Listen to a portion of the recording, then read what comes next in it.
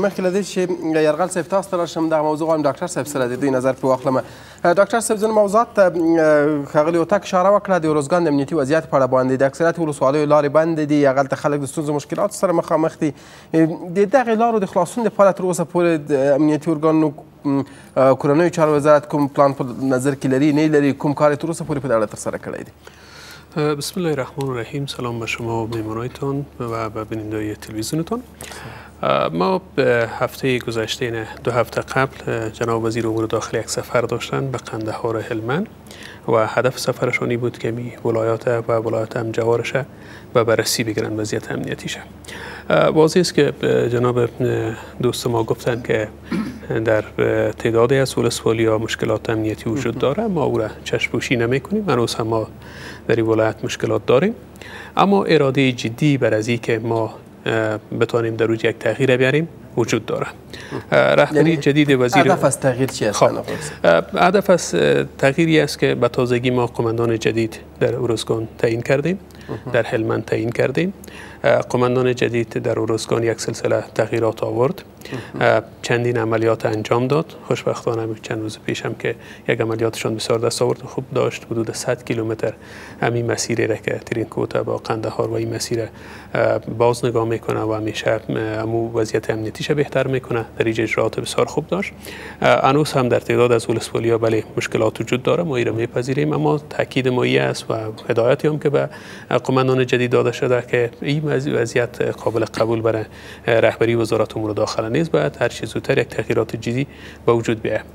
تلاش هست تلاش میکنیم کوشش میکنیم این اراده بسیار جدی وجود داره اما متاسفانه بله اون چنانی که جناب وکیل صاحب به اشاره کردن و رزگان اما مشکلات خود داره مرازیش و می جنگ های دوامدار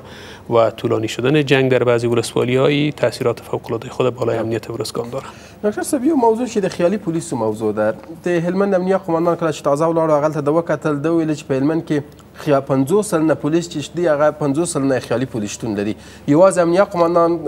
چې تللی و د ځان سره یې دوه سوه اویا کسانو تشکیل وړی و چې هغلته یې شتون نه درلود او فقط امتیاز یې ځان ته اخیستو په روزګان کې مخکې ښاغلي هوتک ویلې چې په روزګان کې هم همدغه مشکل او ستونزه شتون لري کله چې د خیالي پولیسو تر نامه لاندې موږ او تاسو پنځوس سلنه خیالي پولیس په یو ولایت کې ولرو اتیا سلنه ویل کېږي چې هغلته د چارواکو په خدمت کې دي نو په ټوله کې امنیتي سرتیري هغلته د خلکو د امنیت د خوندیتوب لپاره په دنده ګمارل شوي دي یا مشخص د افراد اشخاصو یا هیڅ په نام شتون نه لري بدون شک ما در سفری که جناب وزیر امور داخله به هلمند و قندهار داشتن یک بخش شمی بررسی نیروهای ما که ما حضور نیروهای ما را بررسی بکنیم که آن چیزی که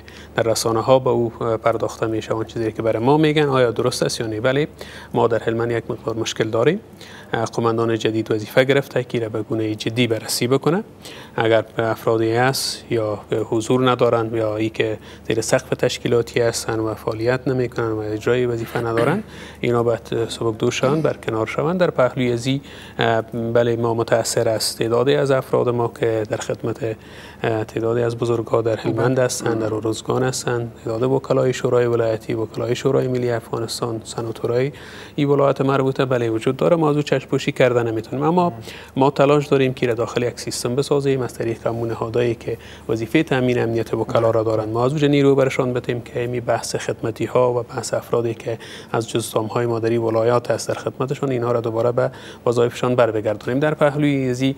ما یک بررسی جدی میکنیم چنانچه که در هلمندی را شروع کردیم اما پیش از وقت است که ما تایید کنیم که بله حدود 50 درصد در اینجا افراد غیابت دارند اما ما تا که بررسی نکنیم خب ما فکر میکنیم یک اندازه پیش داوری است اجازه بتن که ما تیمی را که روان کردیم و خودشان وظیفه که گرفتین را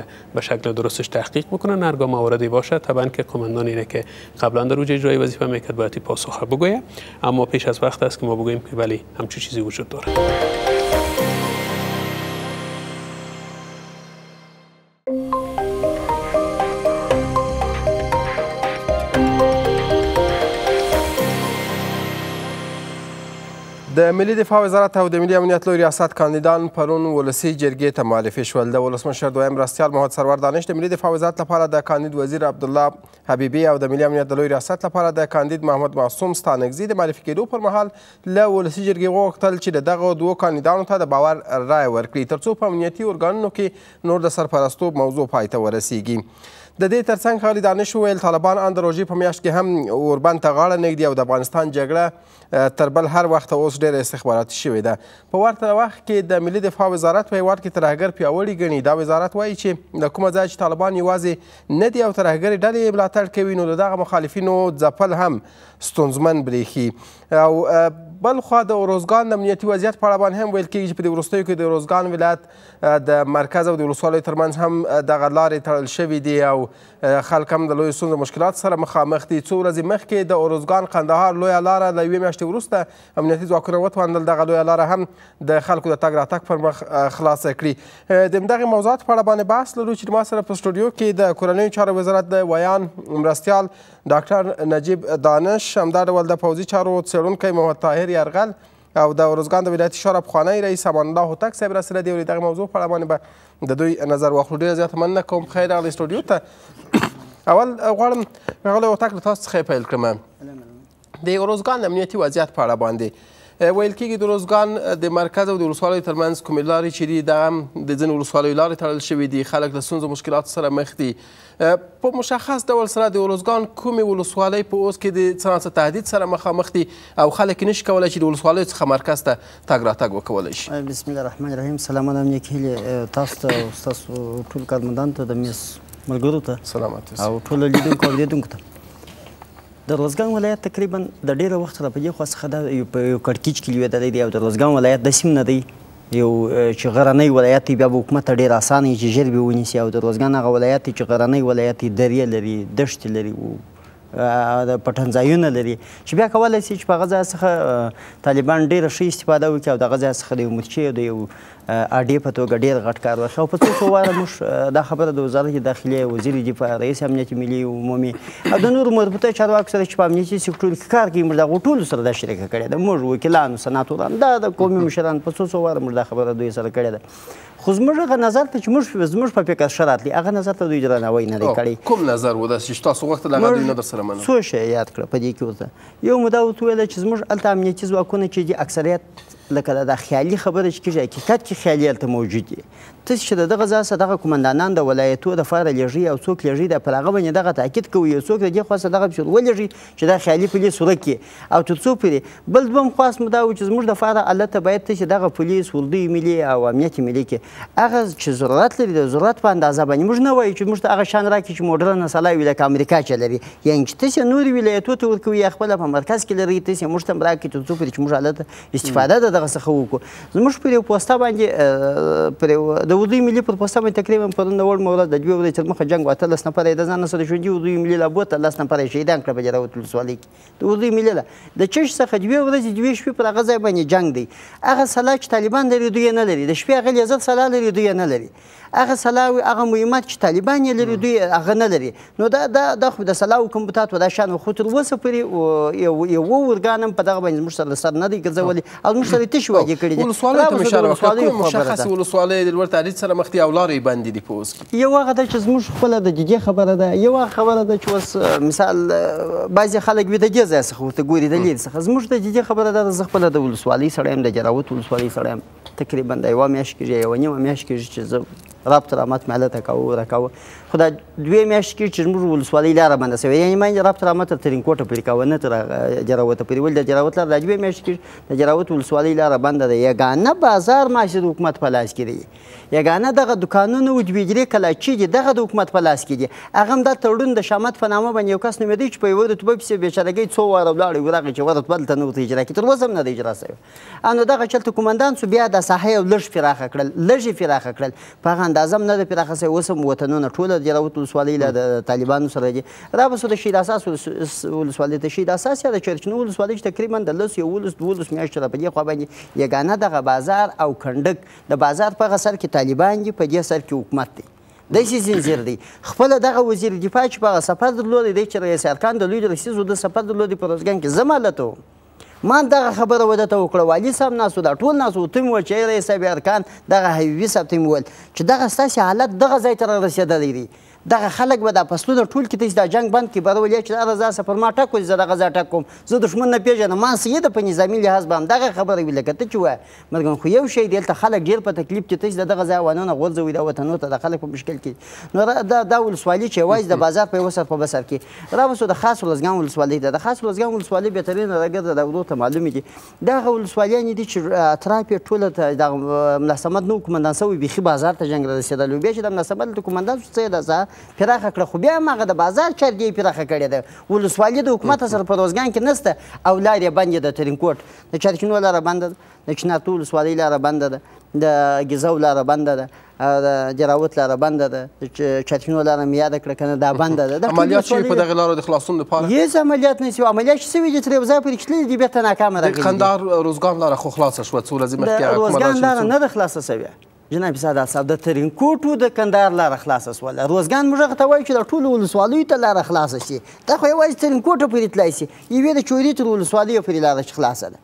نور خو زموږ د روزګان خو کلي ټولو ولسوالیو ته جمع روزګان ویل کېږي دا خو یوازې ترینکوټ لویه لاره د کندهار لویه لاره چې د کندهار څخه تر ترینکوټه پورې تللې وه چې بیا د هغه څخه ولسوالۍ ته چې ولسوالۍ ته لاره بنده ده تر اوسه پورې نه ده خلاصه شوې او عملیات وایي دغسې د اوس برایم تقریبا یو نیمه بجه باندې جنگ دغه دولس نیم بجه باندې جنگ کومندان یارما د کی په تنګي په خلو کې پوسټه درلود او د مرچی کې نږدې پوسټه درلود د پولیسو دي ما چې جنگ واخه ما چې دغه وزارت داخله کې د چا سره چې پیژنې چې هغه ته جنگ وو مله کې ټلیفون پورته کړي کې په روزګنګ چاته وخلې وی مله کې ټلیفون پورته کړي تر پای پرې چې په دغه خبر کوم چې سړی داسې پر پوسټه جنگ دی زموږ خو بل هیڅ وظیفه نه ده زموږ خو دغه ځای دی وګړي په توګه دا وظیفه ده چې زه دغه ستا ژغ تر دغه فری ورسوم چې ورسې په پوسټه کې اوسې پر خلکو خو دغه حال دی خو دا زموږ بچیان دي کور ودان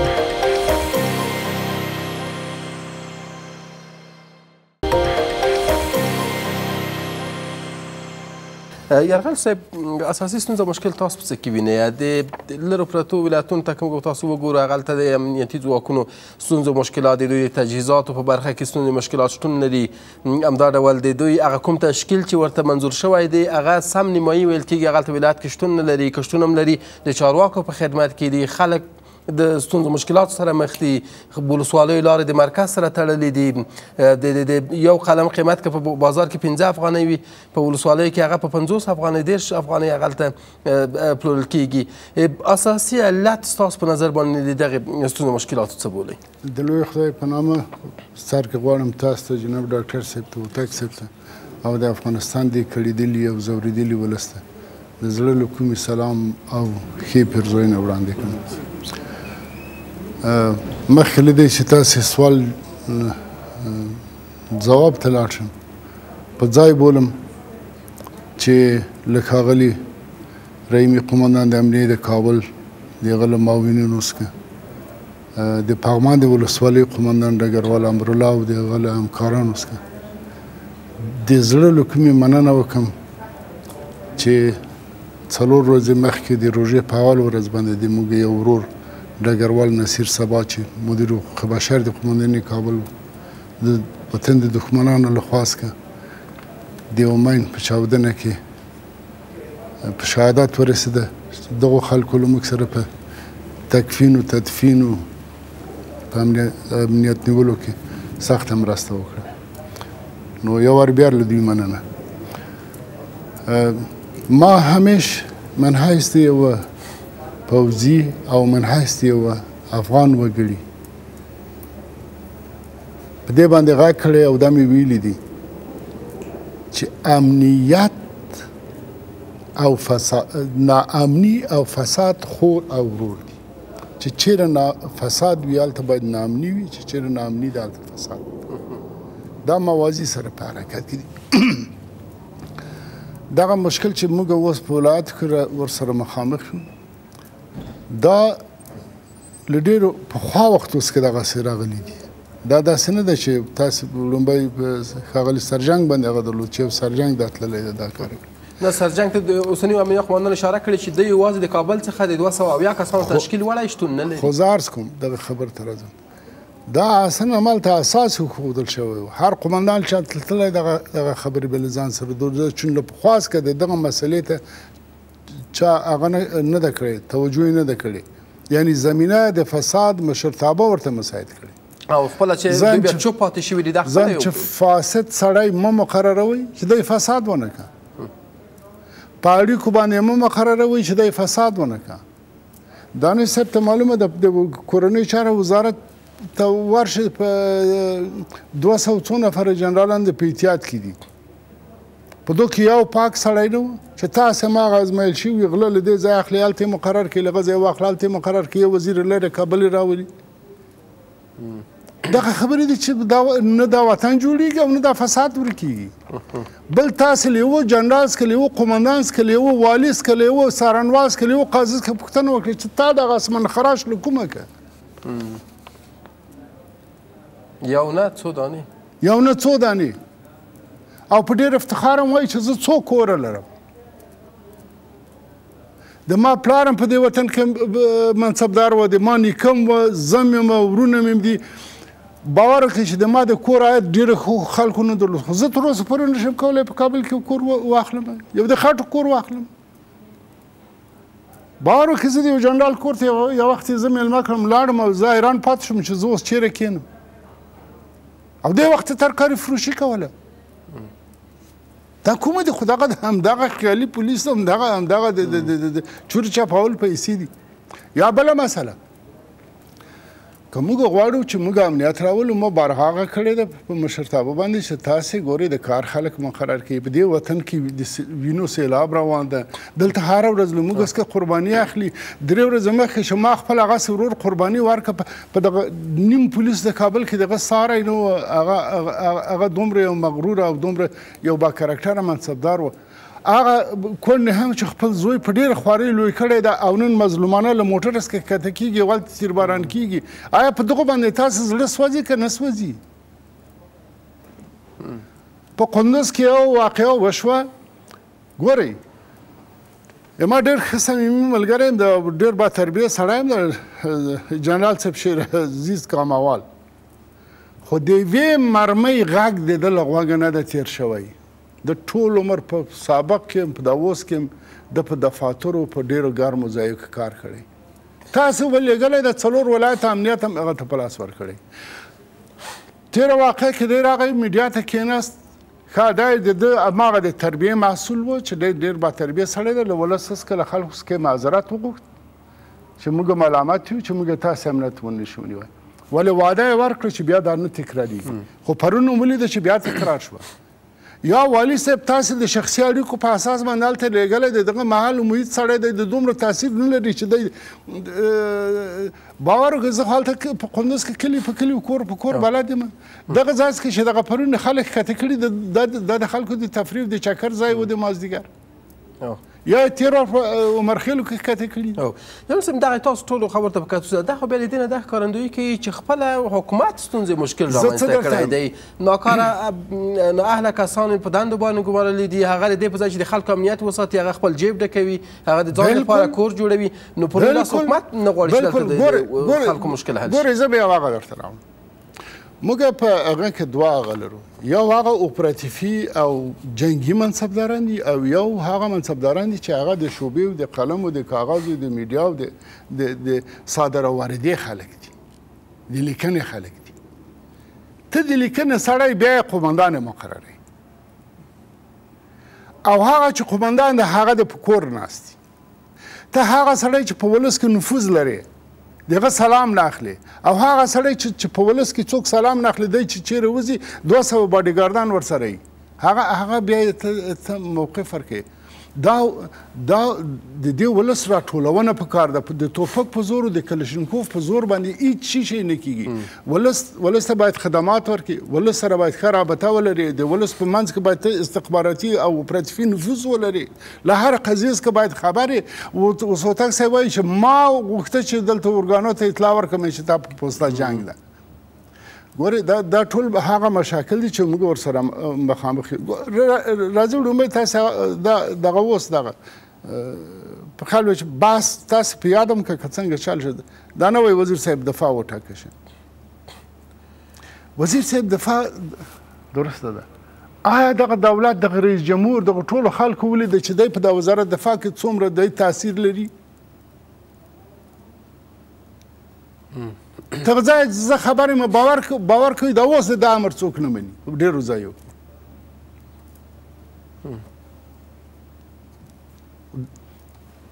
هوتک صاحب تماس پې ونیو چې له هغه ځایه چې په موږ ډز وشي موږ هغه ځای ولو ای وروره تا وظیفه ده خلکو ته امنیت جوړ کړه خلکو ته ژوند جوړ کړه عملیات وکړه دښمن په عمق کې وټکوه و پرون د نارې ولې چې موږ چی نه لرو اوس خو ډېره ښه مدرنه تیارې لري دغه تیارې د هغه چې دا اوس ورکړي دي دا هدف نقطه درته ولي خو استعمال یې کنه سلامات اوسئ جان صاحب تاسو ته راګرځم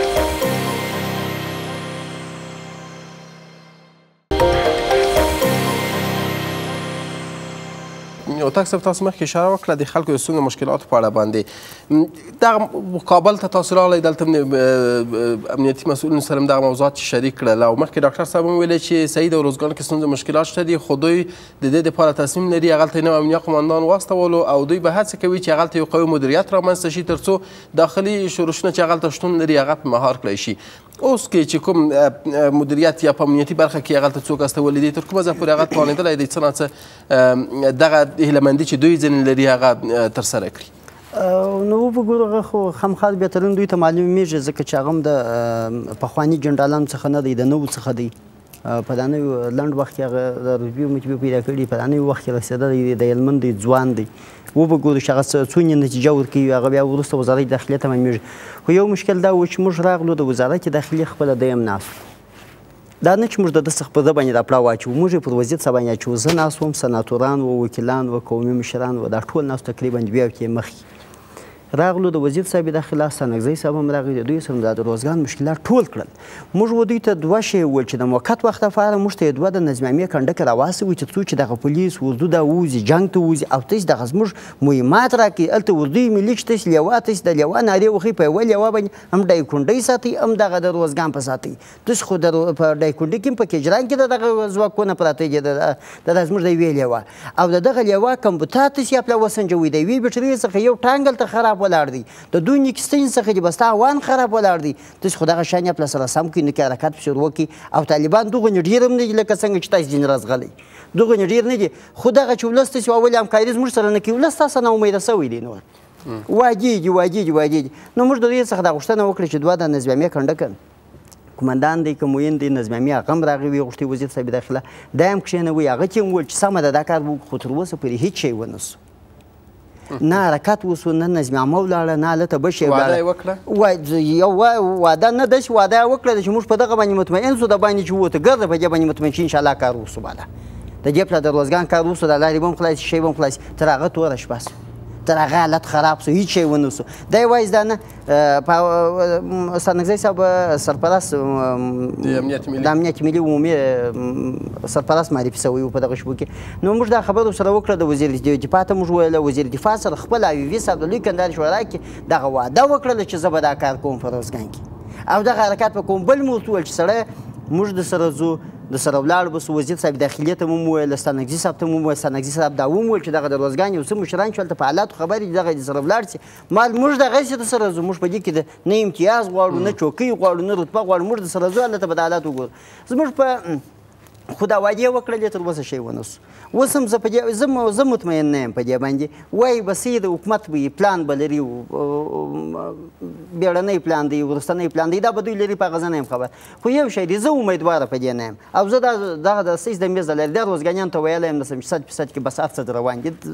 زه هم وبه ګورو که راغله په جده د دې حکومت لاغه دي که دې ولیدل څه ده که دې ونه لیدل په تشو وعدو به سړی نه کېږي ځکه چې زه څلور پنځه کاله رئیس د ولایتي شورا هم تېره دوره تېر شوم دا دا دا مزلونه ما طی کړل چې دی به دا خبرې کوي یو شی که نیلته موږ دا مشکل هم نه لرو د والي په موجودیت کې تامانګي موجوده ده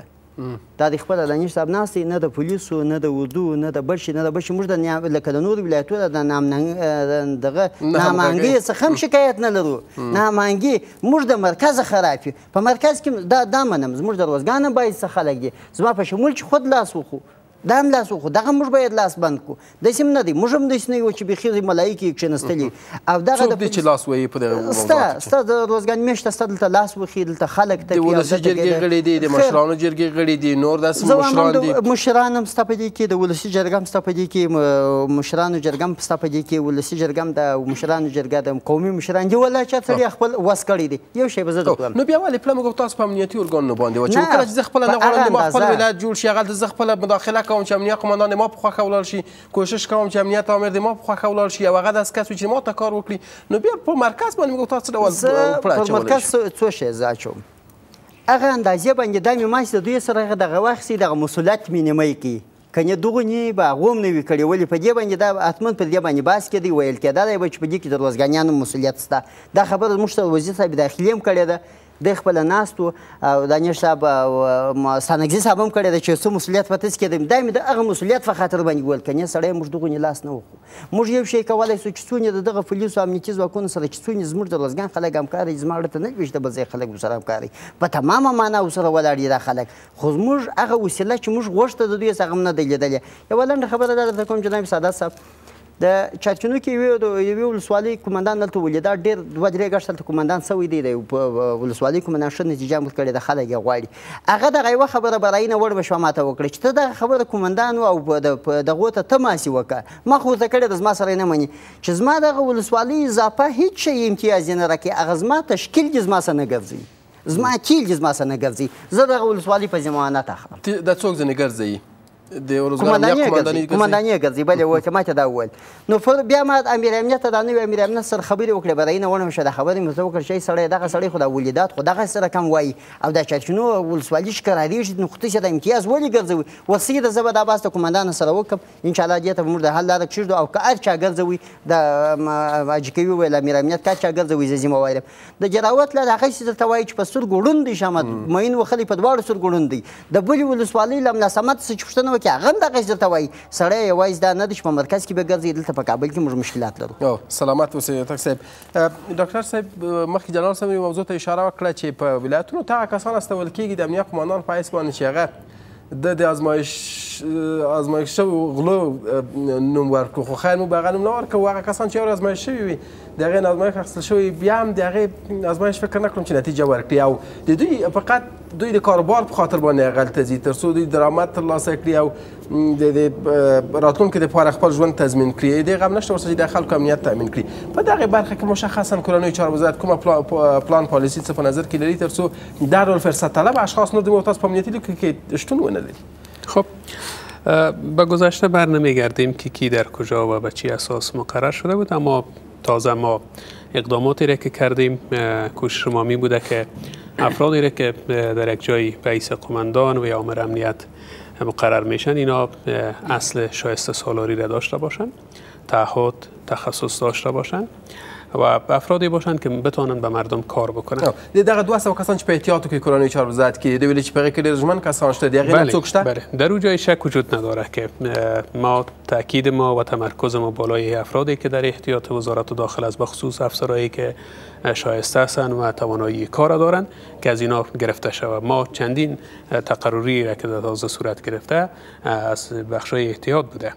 اما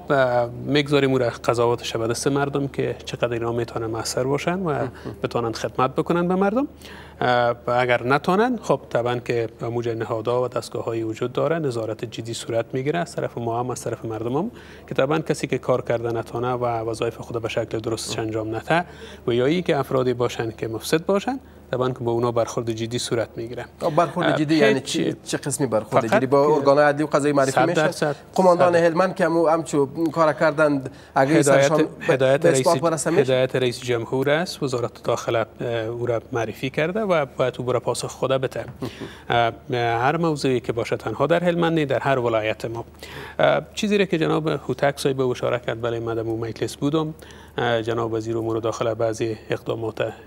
کردن هنوز هم کافی نیست در بخش نظمنامه در بخش افزایش قطعات و پلیس محلی کردن خوب است که بله. صاحب هستند که کدام با خبر باشند که کدام اقدامات خب باره روزگان صورت گرفت در مورد قماندان جدید رفت قماندان جدید بعضی وظایف بعضی تغییرات و بعضی موارد را برای ما پیشکش کرده که ما سر و فکر میکنیم اگر امکان باشه چیزی که ما را که رفتن دکتر صاحب خواست مردم روزگان بودن یا بعضی از اعضای مجلسشان بودن خب. یا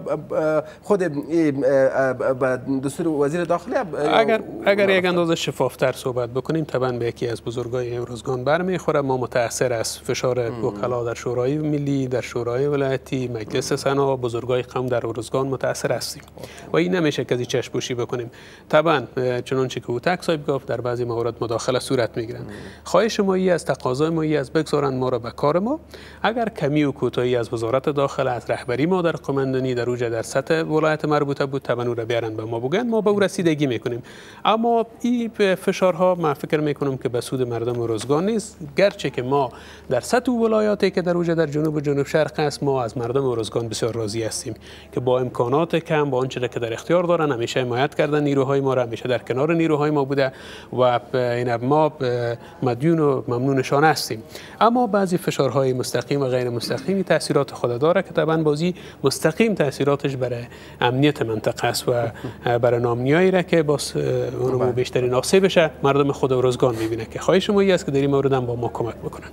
بله دکتر صاحب یک موضوع دیگه پیشتر اشاره شدن درباره تجهیزات نیروی امنیتی بالخصوص در روزگان گفتن که وجد مخالفین مسلح نسبت به نیروی امنیتی افغانستان اونا مجهزتر هستند و تجهیزات از اونا بسیار بالا هستند اما نیروی امنیتی افغانستان تجهیزات را که به دسترس خود دارند بسیار تجهیزات ناچیز هستند در عرصه تا چه حد کدام کار صورت گرفته نگرفته و چطور میتونیم که به این مزل رسیدگی بتانیم بحث تجهیزات خوی مشکل به زودی حل میشه البته هم تجهیزات در کل نیروهای پلیس افغانستان تغییر میکنه از این تجهیزاتی که نیروهای بین المللی استفاده میکنن که مهم فور ام 16 در اختیار ما قرار میگیره که ما اول می ولایت آسیب پذیره که یکی از ارزگان است که در گام نخست اینا را در نظر میگیریم اما اگر کم کمبودی باشه که طبعا قمندان نو به ما گزارش بده که در کدام بخش در کدام مرسه طبعا به او هم رسیدگی میکنیم الایی که تا تجهیزات تازه ما و امکانات تازه به ما برسه تشکر سلامت باشید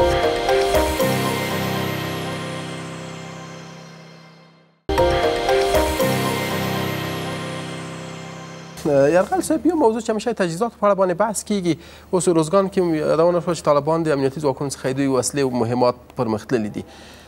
امنیتي ځواکونو ته په وخت کې چې اسلحې او تجهیزات ورکړل شوي دي تر نن پورې هماغه پسې رسېدلي دي دغه پوښتنه نه کېږي چې دوی هغه اسلحې او تجهیزات شتون لري که نه لري لکه هلمند ولایت د هلمند ولایت یو مسؤل موږ ته ویلې دوی ویلي چې هغه کوم څه تجهیزات چې څو کاله مخکې هلمند ولایت ته استول شوي دي نن هم هماغه حسابېږي اما د هغې سم نیمایي شتون نه لري هغه د یو شمېر افراد اشخاص له لوري هغه په حتی په تور بازار کې پلورل شوي دي په مخالفینو باندې خرڅ شوي دي او بیرته نن هماغه په امنیتي ځواکونو باندې دغه څخه استفاده کوي ګورې صدا صاحب دا بل موضوع ده تاسو یو نفر وکړئ چې په یو ماموریت کې یا په یو اوزا کې یا په یو جزتام کې د وزارت داخلي مربوط هغه وایي چې ولا زه سلا نه لرم به صاحب زه په څه شي جنګ وکم موږ په پیخر سلا لرو په کورني شهر وزارت کې داریم نه انواع د سلا ولرو فقط د تجهیزاتو د سلا او ولې به ولایتونو ته نه انتقالوي کله چې اصلاح شتون لري ولایتونو ته ولې خو تاسو اجازه راکړئ وام کوم ولایت ویلي دي چې وروره زه کوم دا د څنګ کې د ناست روزګار ولایت استاد نه دوی د سلا د توپیر انډول وښود چې د هغو سلا لا تاسو ویل چې هغه ول اسلحه موږ او تاسو له کړه په ډېر بخښنه سره که ساوه خو نه سلا الته کمبوتات لري برای پر پوسټه باندې د تنګي په خلک کې د خپل کومندان صاحب څخه پښتنه مو کې چې الته جنگو هغه وتول پر موټسکلانو باندې د خلک ورځغاسته د نور کومکان کومندان ارمات پر موټسکلانو باندې د خپل پوسټه ته چې جنگ دی باندې او په جراوت کې جنگ دی د برای او په ترینکوټ کې د خپل په ترینکوټ کې د تنګي خپل وتل په دې کې جنگ دی پر موټرسکلانو باندې وزغلي ول کومندان ته مې ژنګ ووخه ول مال یو وسایل یو موټر نسته دا زموږ پوستا بیخي خراب کړل ول ده ول ولا که شی په ګرده کومندانۍ کې پاتې ول ول زه په کلاشینکوف جنګېږم هغه زما سره په سکیلو په راکټ جنګېږي مال ولې سکیلو شی نه لري ول یوه دانه ولا که پاته څلوېښت کس کې یوه دانه سکیل راکړي خو تاسو اجازه راکړئ ګورئ زه معقوله خبر ده دا در سره منه مال په دغه فرق ده چې هغه سره مثال دا شاکه ده او د ما په پوسته کې کلشنکوف ښي دا یو یو تفاوت لري خو دا هم باعث د دې نشي کېدای چې دښمن دې لپاره دې چې دا شکه ولري او د ما پوسته ونه لري د ما پوسته باید سقوط وکني خبره بل شي ده موږ هر مسله چې راڅیړو باید له بنیاد څخه وڅیړو یعنی په څه معنا باندې چې که کله هغه څوک دغه ته ژمن وسیږي چې زه د په ټولو مسایلو باندې وارد سړی خصوصا خصوصا په دې فکر کې چې زه دغه ما ساحه د مسولیت ده دغه ته لما پښتنه کیږي زه په دغه ځای کې باید امنیت راولم هغه په هر رقم راوستای شي دا منم در سره چې د موږ یو مشکل چې لرو د حمایه وسلې نه لرو توپچی نه لرو چیندار وسایل توپدار نه لرو راکټي سلا نه لرو دا ما بارها ویلي دي ل خپل لدې اسکه چې په ځای کې پرسونل عملیاتو ته وځي یا په پوستو کې توظیفیږي د غو حمایه د دغه درنو سلاو دا ډېر اتمی ضروري ده دا په کل کې د موږ جګړه کې د درنو اسلحو استعمال هم ضرور دی تاسو بالکل ولې نه ده ضرور ولې نه ده ضرور کله چې ته ما په پوستې باندې فشار راوړي که د پوستې شاوخوا په درنې سلام ان تهدید شي دا پوسټې د خلکو د استوګنې په منطقو په سیمو کې دي هغه ته درنې اصلي استفاده څخه نه کړم هغه د خلکو د لپاره مشکل رامنځته کیږي خو نظر په اراضي سره نظر په شرایطو سره نظر په مشکلاتو سره خبره دا ده بیا هم دغه خبره تر راځم د وتک صاحب خبر سي دي چې هغه به دغه چی نه لري ولې نه لري چا یو ورځ ځینی کوم قومندان راغی او له مرکز ته وزیر ته ودرېد چې وزیر زه دې لګلم ماته دا شی را اکمال که کمی نه اکماله وروره خدای په من لاړم زه د خلکو جواب نشم ویلای اصلا اراده مهمه ده اصلا فهم مهم ده اصلا دانش مهم ده اراده په کومه سطح باندې شتون هغه د همغه مسولینو په سطح باندې چې دوی هلته مسولیت لري نه د وزیر داخله خو بزرګ مشکل دا کړی جناب صاحب چې د ولایت ته ولاړ شي هغه ته د ولایت په سطح باندې مسؤل انسان ټکوي د مرکز نه مرکز کې چې دلته مسولین دی هغه د پاس سر نه باسر ټکوي تاسو ول د کورنۍ چارو امنیتي مرستیال وویل چې په دلته د سیاسي اراده شتون نه لري ترڅو وسله مخالفین له منځه ولاړ شي یا دغه ستونزه مشکل په افغانستان کې پای ته ورسیږي کله چې دغه ډول لیدلوري په امنیتي ارګانونو کې شتون ولري بخښنه غواړم بخښنه غواړم موین د امنیتي چې دغه خبر کی ورته خې ته څوک خې د امنیت څوک راولي خو پرې د لاټ کورته دی نو ولې بیا راغلی همدغه د خلکو سره همدغه پوښتنه رامنځته کیږي زه دا اړ یم چې اوس یا وزیر د خارجي ځي هغه مې کې دولت دولت نه تو کده دولت نه تو کده خې چیشته ناست خو پرې د لاټ کوړته دي زه هم چې هر څه شته وروره دا خوشي خبرې دي دغه مسولین را ده نه اوس یو ګوره یو وزیر داخله ما تر اوسه لیدل هم نه د پیم نه جنه به خدوم خبرم چې لوردو راغلی پردو کې پردو کې ښه کار کړي په معلومات لرم وزیر نشي کېدای چې هر ولسوالۍ ته ملاړ شي هر ولایت ته ملاړ شي هر پوستې ته ملاړ شي دا د امنیتي موین مسولیت ده دا د رئیس پولیسو مسولیت ده دا د همغه ځای د قومندان مسولیت ده کمبوتات خپل مشکلات خپل خپل قومندان د ولایت باید حل کاندي نه چې وزیر داخله دلته ناست یو زربینې ورته اچولې چې فلانه قومندان سي ولا هغه پیکا ماشیندار نه لري ته چې دغه زور ولګ د دې راشي ورته کې دي نه که زه قومندان وسېګم او د ما خلک مړ کیږي ګوري وسغور د پهلمند کې څو نفر محلي پولیس په شهادت ورسېده سپینګیری سړی په ونه کې ځوړند کړی و مړی پې نه یې خبر ولې خو چې چا ور ونه رسول آیا په د قومندانۍ کې دغومره شی نه و هر شی شو ولې دغه اراده نه و یا دغه دغه دغه شهامت نه و چې هغه هغه ور ورسي او هغه په هغه باندې وجنګېږي خبره دا ده چې موږ د حل لاره باید ولټو د حل لار د حل لار دا نه ما بارها پیشنهاد کړی رئیس جمهور ته پیشنهاد کوم د وسلوال پوج وزیرانو ته دا مهمه نه ده چې څوک وزیر ده هر څوک چې وزیر خو هغه د دغه وطن سړی ده افغان ده او په دې وطن باندې زړه سوان زړه سوان دی باید وي هغه ته پیشنهاد کوم چې په دوه مسلو کې د دوی ډېر دقیق وسی د افراد او اشخاصو په ټاکنو کې او د هغو پیشنهادو ته غوږ نیول وروسته لغه نو موږ کولای شو او له فساد سره ډیر جدي برخورد که دغه درې اصله وزیرانو د وسلوال پوځ مراد کړ نو ډیر زر کېدای شي امنیت راشي ګوري دا جګړه ساده جګړه نه ده دا جګړه واړه جګړه نه ده دا ډیره غټه جګړه ده دلته ګوري د ټول ناتو او امریکا سره جګړه و او جګړه ده د دې لپاره باید د وسوال پوځ وزارتو مسولین قوي تدابیر قوي فکر ورته وکړ سلامت اوسې يرغل صاحب نو اوس تک صاحب د بحث سره ټول کو د حل پلار باندې بحث وکړو يرغل صاحب خو اشاره وکړه د حل لار ته تاسو د حل لار څه بولې او په ورته وخت کې کچې په روزګان کې وضعیت هم دغه ډول سره وي تر کومه ځای پورې ممکنه ده چې حتی موږ تاسو د یو شمېر ساحو د سقوط د ګواښ سره مخامخ شو مننه چې دانش صاحب خبرې ته اشاره وکړه کېټ کې وایي فشارونه موجود دي او شو چې خبره سره یو د کفر بل بل د روزګان د خلکو د خوا څخه د روزګان د مسولین د خوا چې په کابل کې مسولین وي دا غو د خوا څخه فشارونه موجود دي که د فشار په وجه باندې دا کسان تاسو پیژنئ چې د څوک دي ګرځي پیژني روزګان خلک خپل په خلکو پوهیږي چې موږ تکلیف ته چا څخه وړو موږ رنځ چا څخه وړو موږ سره کم کیږي که د فشار په وجه باندې دوی هلته قومندانان یوازې د ولایت نه ولایت ولسوالیو علاقه د فشار په وجه باندې دوی مقررول او وزارت داخلې روزګان نه جوړیږي روزګان نه سمیږي او دا به هیڅ که یګانه وزارت داخله پاتې شوله زم ځینې ولاړم خپل پر لار چې وروره دا ستا وظیفه ده په تا اړه لري د هر ځای او په هغه ورځ موږ دوه درو کس دا خبره ورته وکړه چې سړی د هر ځای چې رالیږي موږ مخالفت د دې نه کوو خو که تاسو وایئ چې پر دغه جریملا باندې نیوکې کوي چې دا جریملا دا مشکل جوړ کړی دی اوس خو به جریملا نه ولې دا مشکل جوړ دی دا دا خو یوازې دا نه دی دا هلته اختلافات سیاسي اختلافات یا د خلکو تر مابین نظر اختلافات موجود دي که تر څو پورې د الله د حل لارې ته ول د حل لارې هغه زمانه ده که موږ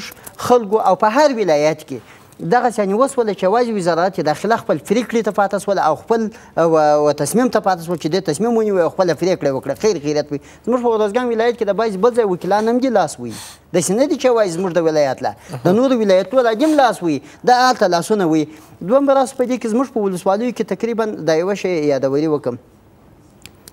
یو لیټر تیل په یو نیم سل روپۍ دي یوه پنځوس کیلوي اوړه تقریبا په څلور زره روپۍ دي یعنې په جراوت کې دغسې په چاشنو کې دغسې جنګ د حکومت او د پولیسو سره مابینځ دی تکلیف یې موږ هم خلک وړو بایر یې کړه رابایر یې کړه مړه یې کړه واستوه زموږ همیشه دغه حال دی زموږ همیشه دغه حساب دی او بله خبره دا ده دوی یو قومندان روغ لیونی راغی هغه ولاړی هغه بل راغی دا اوس چې ناست دی دا راغی سرپرست سو بیا دا د هغه وروسته رسمي توګه اعلان کړي چې داسې پسې اختلافات راغله و د ولسوالۍ قومندانان ولاړه د نو. پنځو میاشتو معاشونه په دغه حالت کې خوړه سوي دي دا دی دی ناست دی چې دغه موضوع معلومه کړي دغه به زه برایي ما د جراوتو د ولسوالۍ د امنیتي خلکو سره ځواکونو د پولیسو معاشونه ورک دي یو هغه قومندان یې وړه بل ویغه ویوړه بل ویغه ویوړه موږ په ښه وزارت ده کې همدغه داخله کې موضوع دا به خبره د یادولې کړه ډاکټر صاحب سره هم پوښتنه وکړه او که دوی نه دوی به د دې په اړه باندې پوښتنه وکړي ډاکټر صاحب د حل لارې ته که راشو د حل لاره څه بولئ او د دې ترڅنګ که وضعیت همدغه ډول سره وي تر کومه ځایه پورې به ستونزمنه وي امنیه قوماندان کله چې هغه ته دندې څخه لرې کېږي د عسکرو معاشونه ځان سره وړي بحث ماشا و کمبودش این موضوع هم مطرح شده با جناب عزیز صاحب پیره داده که بررسی بکنن حتما به او رسیدگی میشه یک افغانی هم کسی حق کسی را خورده نمیتونه حتما او دوباره انتقال میشه اگر هر کس برده بله. باشه و در هر جایی باشه راه حل بسیار کوتاست همکاری مردم بسیار جدی است و میتونه ما را در تامین امنیت کمک بکنه عدم مداخله در امور کارهای امنیتی و حمایتشان در پهلوی از او ازمی کسایی را که از طرف وزارت امور داخله به حیث کدرای کارکشته و متخصص استخدام میشه و در اوجه معرفی میشن اینا ما را کمک میکنه در بهبود امنیت رهبری جدید وزارت امور داخله هم وزیر امور داخله هم معین ارشدش و سایر کسایی که در کابل هستند اما را تاکیدشانی است که یک تغییر ما در امنیت بیاریم در امسال چرا که مردم خیلی تشویش دارند و خیلی نگران هستند تنها در هلمند و روزگان و زابل و قندار و ایجانه اینه در سر تا سر افغانستان ما به وقت نیاز داریم کار ما را تازه شروع کردیم اقداماتی که شده کافی نیست باید ما بیشتر کار بکنیم تلاش بکنیم ما را به یک جای میرسونه بسیار تشکر دیر زیاد من نکنم است سوای فقط من یک موضوع رو میخوایم بگویم مونم گپ هست میگه تا تریاک از هندوستان میرسه میرسه مارگزیده علاق میشه تا این کار شما کار وزارت داخله دی 16 سال نشد بیاین سر اصلا سر بنیادش گپ بزنیم بگویم که ای جنگ مشترک با عرضه خدمات خوب بر مردم جذب اعتماد مردم و جذب همکاری قوت های بین المللی میتونیم که از او طبعا طبعا که تا که حکومت بری خوب ماده اوجا نبیاریم پیاده نکنیم و اگر حکومت داری اگر حکومت داری اما تر باشه مثل که حال رئیس جمهوری یک سرپرست شارولی را روان کرده که او مکتوب نوشته کرده که اگه تا دو ماه کامپیوتر یاد نگرفتین باز باز چیز شارولی ریلا کارم و دیگه وقت از من نکام سلامت وسی دیگه لکه دی چې ویله چې یو کومندان درته وایي چې ولسوالي ټول آلات زه درته ساتم او هغه امتیازات چې ولسوالي لري معاشات هغه ماسی مکمل راکه